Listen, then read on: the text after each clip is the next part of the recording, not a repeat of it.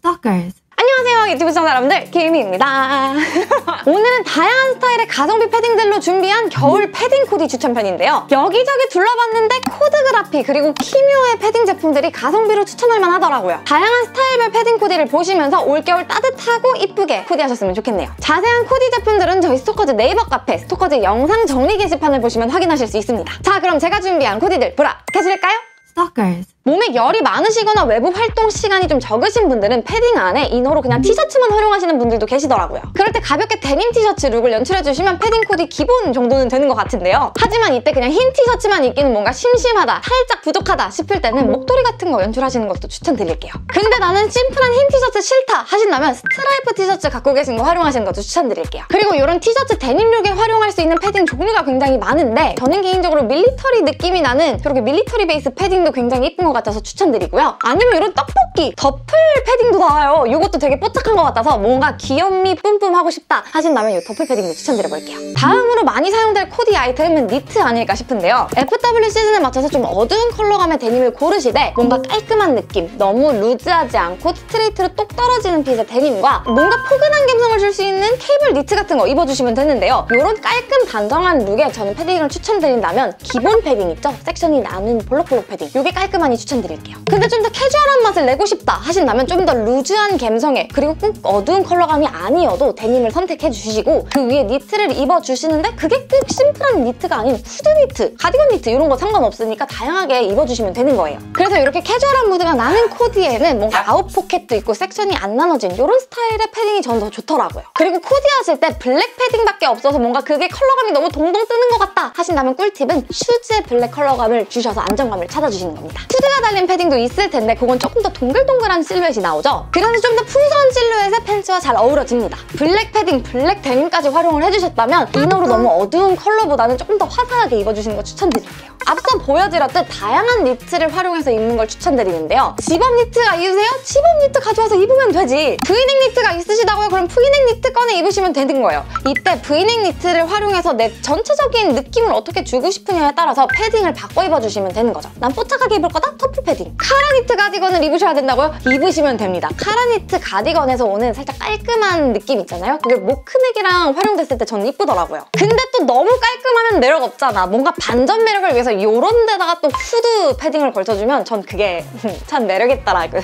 그리고 요즘 핫템인 collarless 가디건도 활용해주시면 좋은데 이거랑 매칭했을 때 이쁜 패딩은 밀리터리 스타일의 패딩과 매칭했을 때 저는 뭔가 영한 느낌이 나더라. 그래서 한번 정리를 해보자면 블랙 패딩이 있다면 다양한 컬러감의 inner 를 활용해 보시는 것도 좋고 내가 추구하고자 하는 스타일에 따라서 패딩 스타일을 골라보시는 것도 추천드릴게요. 뭔가 지금까지의 코디가 나에겐 살짝 캐주얼하다. 나 회사원인데 이렇게 못 입고 가는데 하실 분들도 패딩 입으실 수 있죠. 슬랙스, 셔츠, 가디건을 활용하는 깔끔 단정한 룩에 추천드리는 패딩은 볼록볼록 기본 스타일의 패딩이에요. 이게 조금 아저씨스러울 수는 있어. 하지만 왜 이렇게 입는지는 알 것 같아. 단정해 보여. 근데 그럼 아재스러움이 싫다 하신다면 그 볼록 패딩보다 이렇게 아웃포켓 입고 섹션 안 나눠진 좀 요즘 감성의 패딩을 얹어주셔도 잘 어울리니까 너무 걱정하지 마세요. 그리고 회사 복장 규정이 빡세서 setup을 입으셔야 되는 분들도 패딩 입어주시면 되는데 그때 또 단정하게 입으려면 기본 패딩 스타일로 입어주시면 되고 아니면 나는 좀 남달라 하시는 분들은 후드 달린 거 입으니까 되게 이쁘더라. 지하철에서 그렇게 입고 가는 오빠야는 이제 동년배 친구였을 거야. 친구를 봤는데 어 괜찮더라. 그래서 패딩 디자인에 따라서 풍기는 분위기가 있지만 또 너무 틀에 갇히지는 말자. 가끔 mix match가 매력적일 때가 있다.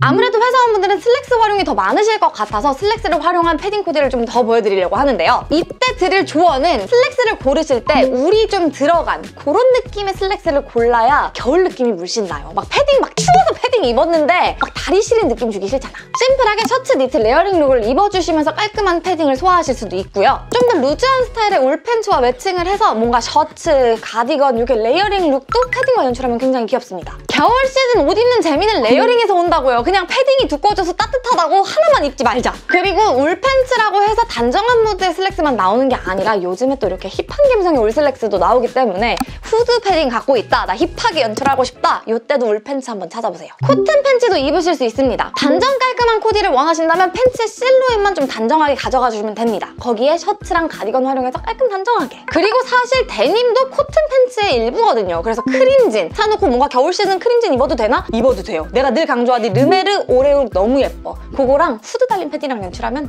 음, 제 취향이에요. 그리고 밀리터리 스타일의 패딩, MA-1류 이런 것도 chino 팬츠랑 굉장히 잘 어울리는데요. 카키색과 베이지의 근본 조합 룩 너무 예뻐요. 그런데 이때 제가 개인적으로 느끼기에 좀 이쁘다 드는 거는 이런 스타일의 패딩은 후드랑 layering 됐을 때 뭔가 더 따뜻 해 보이는 맛이 있더라고요. 그래서 밀리터리 스타일의 패딩을 구매하신 분들은 후드 layering 추천드릴게요. 그리고 아까 뽀짝했던 duffle 패딩도 chino 팬츠랑 입어주면 아주 귀엽지. 근데 이건 뽀짝함을 조금 더 강조해서 발랄한 상큼한 컬러 코디 한번 추천드릴게요. 이왕 이렇게 발랄 상콤할 거 목도리까지 해보는 건 어떨까요? 겨울 시즌 목도리는 보온성 아이템이기도 하지만 악세사리 같은 거, 목걸이 같은 느낌이에요. 뭔가 코디를 좀 더 재밌게 해줍니다. 자, 마지막은 sweat look. Sweat setup을 입어주시고 패딩을 입어주시면 되는데 sweat setup의 장점은 어떤 스타일의 패딩이 얹어져도 다 괜찮다는 거예요. 하지만 추리닝 setup 코디가 너무 안 꾸민 듯한 느낌을 준다. 이럴 때는 상의만 니트랑 이렇게 매칭을 해주시면 조금 더 꾸안꾸룩, sweat look 이렇게 연출하실 수 있으니까 이것도 추천드릴게요. Stalkers. 자 이렇게 해서 다양한 스타일의 패딩들로 코디를 한번 보여드렸는데요. 패딩은 따뜻하다고 혹은 패딩이 좀 안 이쁘다고 해서 옷을 좀 대충 입는 거는 안 했으면 좋겠어요 사실. 아무리 추운 날이어도 오늘이 제일 젊은 날이고 이왕 이 옷을 입고 나갈 거 재밌게 입고 이쁘게 입고 나가면 좋잖아.